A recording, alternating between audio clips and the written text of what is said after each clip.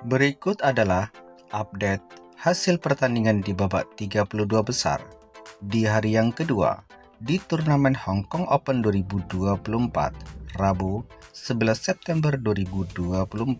Sebelum lanjut, like, komen, dan subscribe atas sport untuk mendapatkan info-info olahraga.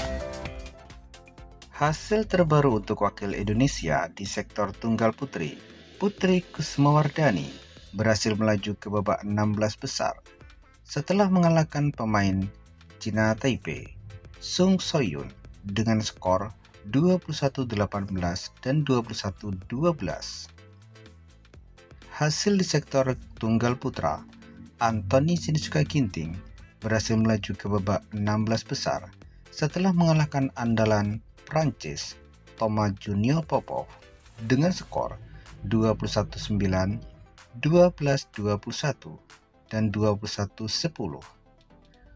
Berikutnya di sektor tunggal putri, Komang Ahyu Cahyadewi berhasil melaju ke babak 16 besar setelah mengalahkan tunggal putri asal India Tanya Hemat dengan skor 21-16 dan 23-21.